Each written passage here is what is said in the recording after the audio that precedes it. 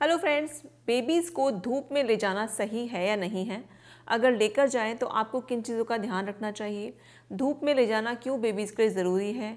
क्या चीज़ें आप गलत करेंगे जिससे बेबी को नुकसान हो सकता है? आज के इस वीडियो में आपको इस सब चीज़ों के बारे में जो है इन्फॉर्मेशन मिलने वाली है। तो चलिए बिना देरी के स्टार्ट करते हैं आज का वीडियो तो देखिए, सबसे पहले मैं आपको बता दूँ कि बेबीज़ को धूप में ले जाने के काफ़ी फ़ायदे हैं। फ़ायदों की बात करें तो नंबर वन देखिए, धूप में बहुत अच्छा विटामिन डी होता है, जो कि चाहे बच्चा न्यूबॉर्न हो या फिर बच्चा बड़ा हो या फिर खुद हम लोग क्यों ना हो, हमारे लिए जो धूप में बैठना है वो ज़रूरी है। इससे हमें अच्छा विटामिन डी मिलता है। नंबर टू इससे जो बेबीज़ हैं, उनकी बोन्स हड्डियाँ यानी कि मज़बूत होंगी, उनका अच्छा ग्रोथ होता है।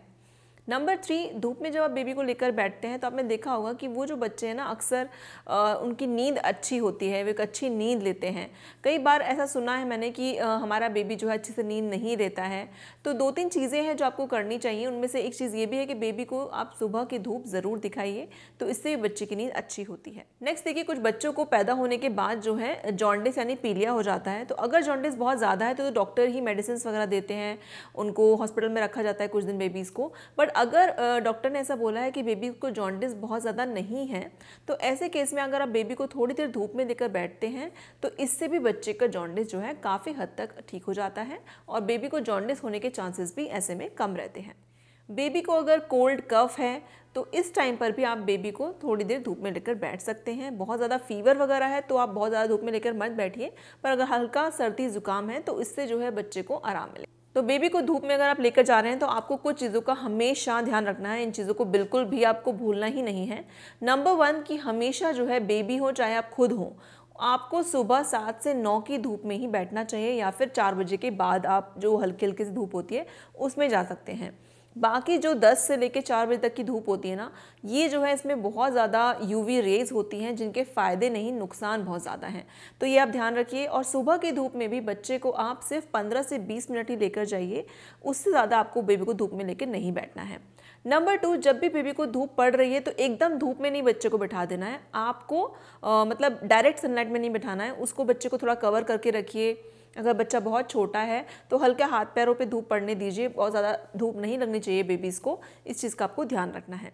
नंबर थ्री आपको ये ध्यान रखना है कि अगर बेबी प्री मैच्योर है आ, मतलब जो बेबीज़ जो टाइम से पहले हो जाते हैं ऐसे केसेस में बेबीज़ को धूप में लेने से पहले अपने डॉक्टर से एक बार ज़रूर कंसल्ट करें। उनसे पूछें कि क्या हम बेबीज़ को थोड़ी देर धूप में लेकर बैठ सकते हैं या नहीं। और इसके अलावा जो बेबीज़ जिनकी स्किन एलर्जीज़ की प्रॉब्लम होती है या फिर उनको बहुत जल्दी जल्दी जो है कुछ ना कुछ प्रॉब्लम्स होती रहती हैं तो ऐसे केस में भी बेबीज़ को धूप में जाने से पहले अपने डॉक्टर से एक बार आप ज़रूर कंसल्ट करें। बेबी को धूप में जब भी लेकर जा रहे हैं तो ये ध्यान रखें कि बेबीज़ की आँखों पर डायरेक्ट सनलाइट नहीं पड़नी चाहिए, धूप नहीं पड़नी चाहिए, ये बेबीज़ की आँखों की रोशनी के लिए सही नहीं है। नेक्स्ट कई लोग जो है बेबीज़ को धूप में लेके जो है कई कई घंटे बैठे रहते हैं मतलब दो तीन घंटे तक बेबी बैठे रहते हैं। तो ये भी आपको नहीं करना है। आपने खुद देखा होगा कि जब बेबी को धूप में लेकर बैठ रहे हैं तो अचानक से आप बोलने जाते हैं ना कि बेबी का स्किन कलर बहुत जल्दी चेंज हो गया है बेबी का कलर पहले कुछ और था, अब कुछ और हो गया है। तो देखिए, बच्चे के लिए 15 से 20 मिनट, मैक्सिमम 30 मिनट की धूप जो है वो काफ़ी है। उससे ज़्यादा धूप से जो है बच्चे को फ़ायदा नहीं, बल्कि नुकसान होगा। कई बच्चों को स्किन पे रैशेज़ हो जाते हैं, उनकी स्किन ड्राई हो जाती है। तो ये चीज़ें भी आपको ध्यान में रखनी है। नेक्स्ट जब भी बेबी को धूप में लेके जाएँ तो बेबी को हाइड्रेटेड भी रखना है। यानी कि अगर बच्चा छः महीने से छोटा है तो आप बेबी को ब्रेस्ट फ़ीड ज़रूर कराएँ। अगर आप मान लीजिए पंद्रह बीस मिनट के लिए जा रहे हैं तो उससे पहले ही ब्रेस्ट फीडिंग करा के जाएँ। और अगर नहीं कराया है तो तब भी वहाँ पर करा दीजिए। और अगर बेबी छः महीने से बड़ा है तो उनको आप धूप में लेकर जा रहे हैं तो बेबी को थोड़ी थोड़ी देर में पानी पिलाते रहिए। या फिर जूस पिला सकते हैं, आप छाछ पिला सकते हैं, या नारियल पानी पिला सकते हैं। मतलब बच्चे की बॉडी को आपको हाइड्रेटेड रखना है। देखिए, बच्चे को जब धूप में लेके जाते हैं तो बच्चे को विटामिन डी अच्छा मिलता है तो आपको पता है। विटामिन डी अच्छा होगा बॉडी में तो बच्चा जो है, उसकी बॉडी जो है कैल्शियम अच्छे से अब्जॉर्ब करेगी तो बेबीज़ की बोन्स अच्छी होंगी बेबी का जो पूरा ओवरऑल ग्रोथ है, वो भी अच्छा होता है। और अगर आपका बेबी छः महीने से छोटा है तो आप बेबी के लिए सनस्क्रीन वगैरह बिल्कुल भी यूज़ मत कीजिएगा इस टाइम पर। आप उसकी बॉडी को अच्छे से कवर कर लीजिए, उसके सर पर दुपट्टा वगैरह रखकर जो है, आप उसको कवर कर सकते हैं।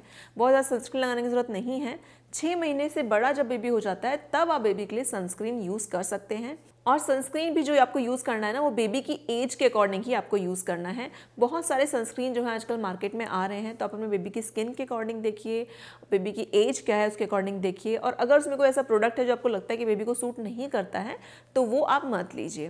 तो अगर आपको हमारी वीडियो पसंद आई हो तो वीडियो को प्लीज़ लाइक करें शेयर करें। और अगर अभी भी आपके कोई सवाल हैं तो आप कमेंट बॉक्स में हमसे पूछ सकते हैं। Thank you for watching